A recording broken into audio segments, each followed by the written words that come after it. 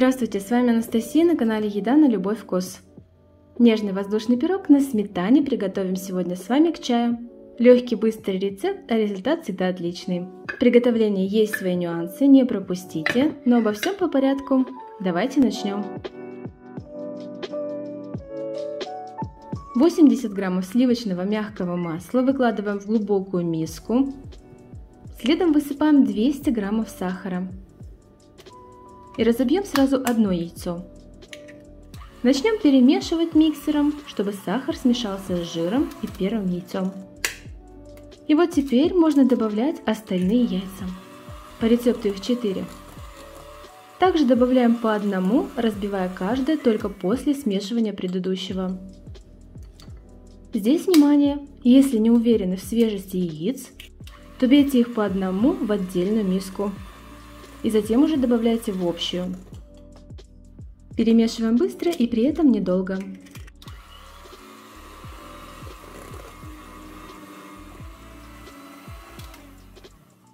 Добавляем 200 граммов 15% сметаны. Чем гуще сметана, тем меньше муки и тем воздушнее кекс. Снова перемешаем тесто.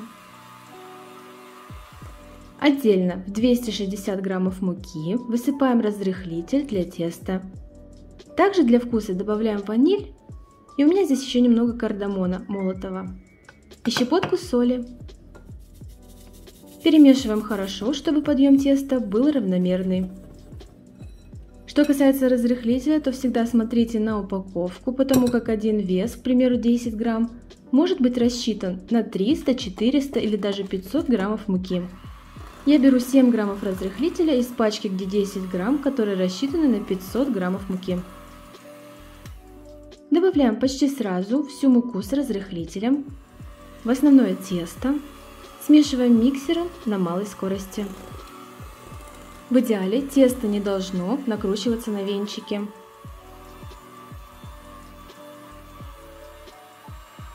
Вот какая должна быть густота. Для выпечки беру форму 22 см в диаметре. Дно застилаю пергаментом, а бока обильно смазываю сливочным маслом и присыпаю мукой. Остатки муки высыпаю. Если использовать форму большего диаметра, кекс будет тоже пышный, но ниже. Вот и духовка прогрелась. Выливаем тесто, разравниваем. Выпекаем кекс до сухой палочки. Занимает это около 60 минут. В электрической духовке я ставлю температуру 170 градусов. Если у вас газовая духовка, то температура должна составлять 180 градусов. И когда середина уже поднялась, пирог на сметане готов. Сверху, как и свойственно кексовому тесту, верхушка треснула, Достаем пирог на решетку, пусть остывает. Тесто это получилось в меру сладкое, поэтому для большей сладости мы сделаем глазурь из сметаны и какао. Это очень легко и быстро. В сотейник высыпаем 80 граммов сахара и 20 граммов какао-порошка. Добавляем 50 граммов сметаны, беру также 15% густую. Перемешиваем Сначала покажется это невозможным, но по мере намокания какао смесь получится вязкой. Ставим сотейник на малый нагрев, доводим до кипения.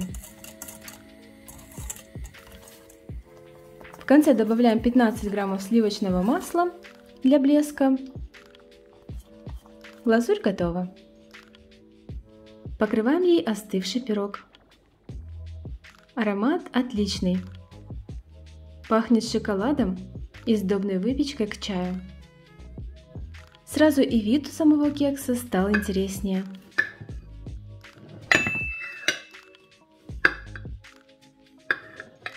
Мы, конечно, не будем ждать, когда глазурь полностью застынет. Давайте разрежем.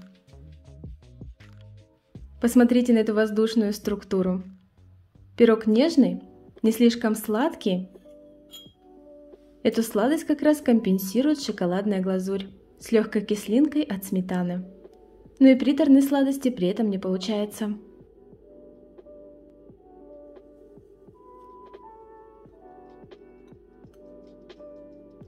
Очень удачный рецепт, готовится легко. Попробуйте приготовить.